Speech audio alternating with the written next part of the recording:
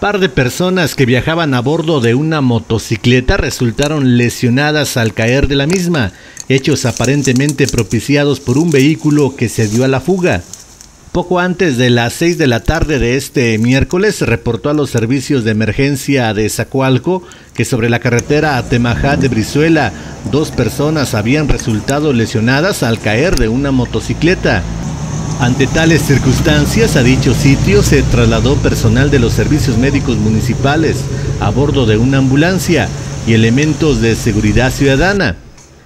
A decir de los testigos oculares, la motocicleta circulaba con sentido a Catarina, cuando un vehículo invadió el carril contrario y este estuvo a punto de arrollarlos, lo que provocó que el conductor perdiera el control, frenando y derrapando.